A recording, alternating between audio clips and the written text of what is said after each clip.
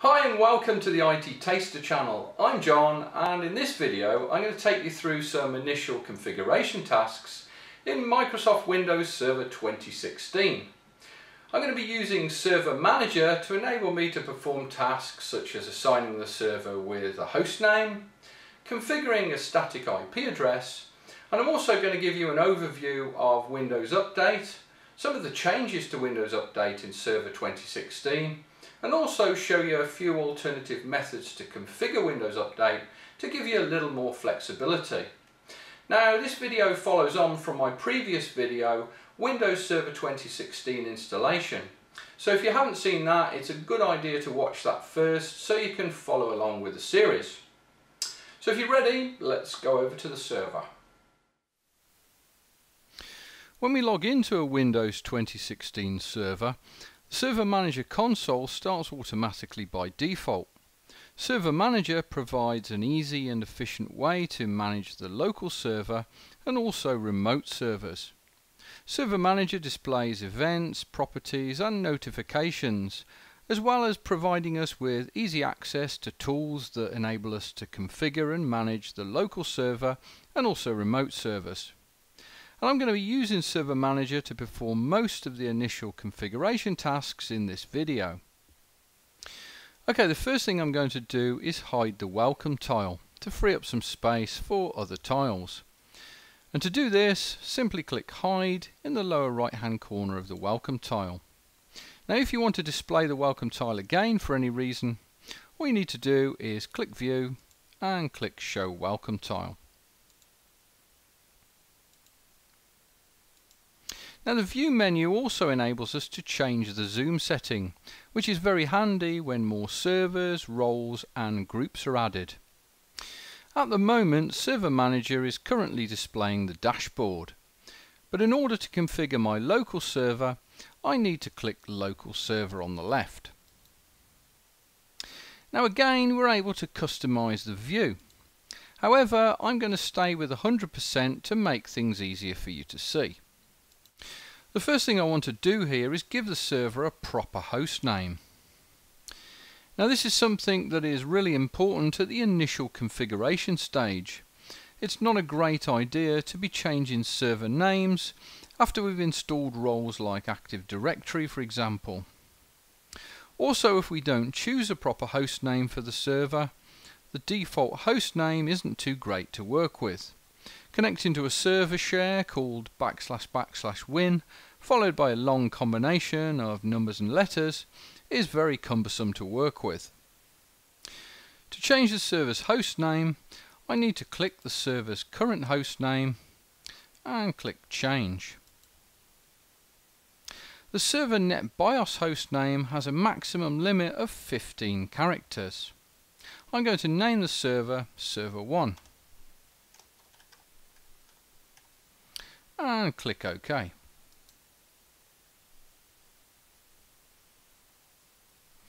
Now I'm reminded that the server must be restarted to apply this change. So I just need to click OK, click Close, and I'm going to restart the server. Okay, the server has rebooted, I've logged back in, and I'm back in Server Manager, which is displaying the local server properties. And the computer name is now set as Server 1. The next task is to assign the server with a static IP address. At the moment, the server is configured by default to obtain an IP address automatically from a DHCP server. Servers are normally assigned a permanent static IP address that does not change. This is especially important when the server is running important roles such as Active Directory domain services or if the server is sharing resources, such as a file server for example. If the IP address is able to change, then this will cause issues. To configure the server with a static IP address, we need to click the Ethernet link, right click the network adapter, choose properties, click IP version 4 and click properties again. Now at the moment we can see the server is configured to obtain an IP address automatically. To specify a static IP address, click Use the following IP address and because the server is going to be used for testing and evaluation in the lab, I'm going to assign it a private class C address of 192.168.0.110 and I'm going to specify a default subnet mask of 255.255.255.0 which is automatically added. Now if you want to learn more about IP addresses, how they work and how to choose an IP addressing scheme for an internal network, check out my IP version 4 addressing video series which can be found on the IT Taster channel. Okay, next I'm going to specify default gateway of 192.168.0.1 which is my router and I'm also going to configure DNS. My router also provides DNS resolution so I'm going to specify my router as the DNS server for the time being.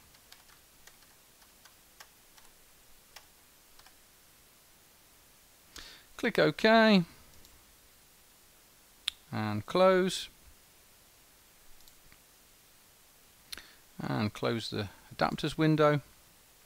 And you'll notice that the server manager is now displaying the server's new static IP address of 192.168.0.110. Server Manager also tells us the time zone the server is set to and it's a good idea to check the server is set to the correct time zone at this stage.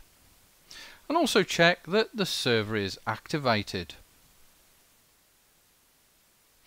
My Server 2016 server now has a connection to the internet. So the next thing I'm going to check is my Windows Update configuration. To do this, simply click the Windows Update link.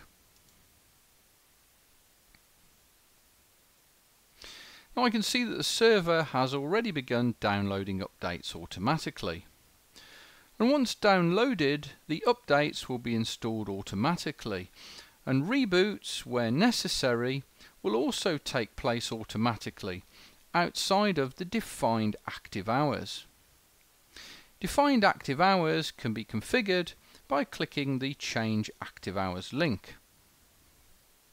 Now active hours specifies the times when the server is normally in use. This is a really significant change to how updates have been applied in the past, so it's important to consider your updating strategy carefully. I'm going to click cancel and not make any changes here at the moment.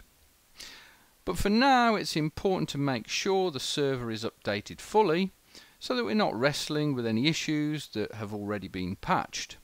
So I'm going to leave Server 2016 checking for updates as this will take a bit of time to complete and I'll return to it later. The server's finished updating and we're now up to date. However, there's an important change to be aware of. Unlike previous versions of Windows Server, we no longer have the option to configure how Windows Update checks for updates in the GUI. Windows Server will automatically check for updates, download them, install those updates and reboot automatically outside of the active hours specified, which isn't always ideal. So I'm going to show you an alternative method to configure Windows Update options that gives us a little more flexibility. We need to go to Run or a command prompt and type sconfig and press return and if we choose option 5 Windows Update Settings and press return we have the option to set Windows Update to either update automatically, download updates only or manually check for updates. I'm going to choose M for manually check for updates and press return.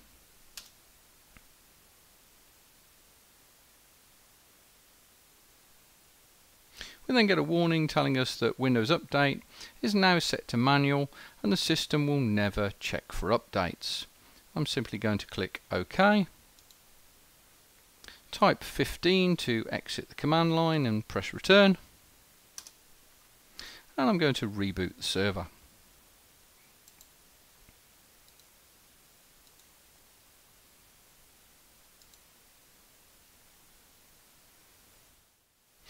Okay, the server has now rebooted, I've logged back in and Server Manager has started.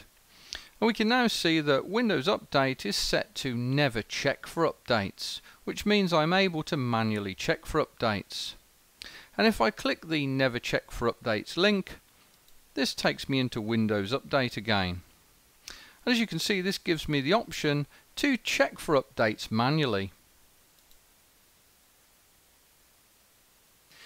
Well, that brings us to the end of the video. I hope you found it helpful and please give the video a thumbs up if you did.